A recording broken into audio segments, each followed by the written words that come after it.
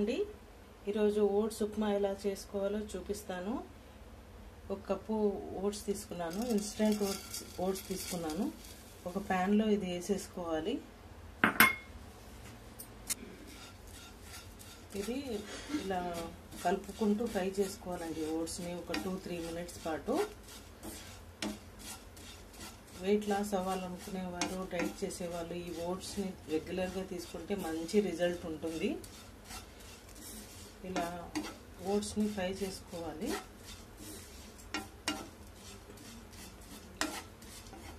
ఓట్స్లోన చాలా హెల్త్కి మంచి గుణాలు ఉన్నాయండి. ఈ ఓట్స్లోన ఫైబర్ చాలా ఎక్కువగా ఉంటుంది. మన ఆరోగ్యానికి చాలా మంచిది ఓట్స్ ఇవి తీసుకోవడం వల్ల.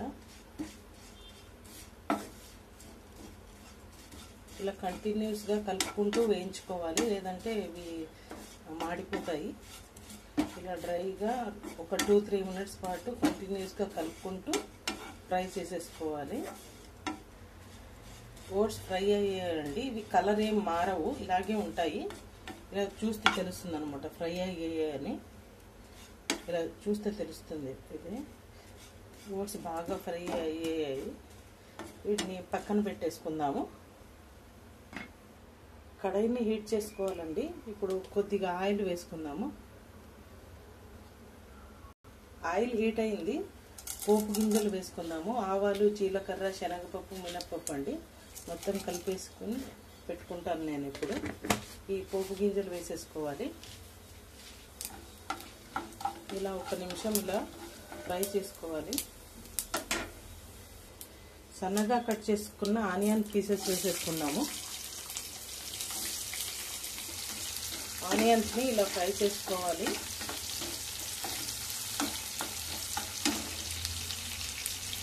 ఒక వన్ ఒక రెండు పచ్చిమిరపకాయలు ఇలా కట్ చేసుకొని వేసేసుకున్నాము.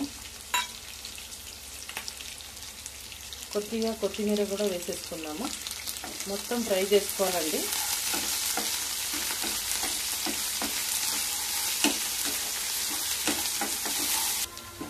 ఆనియన్స్ బాగా ఫ్రై అయినాయి. ఇప్పుడు వాటర్ వేసుకున్నామండి ఒక కప్పు ఓట్స్ తీసుకున్నాం కదా వన్ అండ్ హాఫ్ కప్పు వరకు వాటర్ తీసుకోవాలి.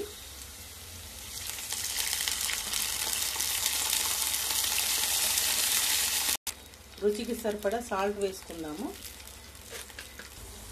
వాటర్ బాగా బాయిల్ అవుతుందండి ఓట్స్ వేసేసుకుందాము.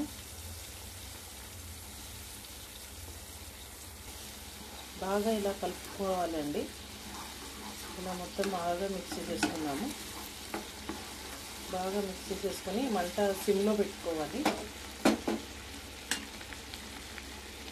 మంట సిమ్లో ఉంచుకొని ఇలా మూత పెట్టుకుని ఒక ఐదు నిమిషాలు ఉడికించుకుందాము.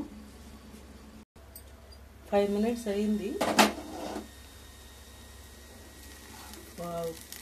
ఉప్మా బాగా ప్రిపేర్ అయిపోయిందండి. ఇది చాలా చాలా టేస్టీగా ఉంటుంది. చాలా త్వరగా కూడా చేసేసుకోవచ్చు. Stove off చేసేసుకుందామండి. సర్వింగ్ బౌల్లోకి తీసుకుందాము.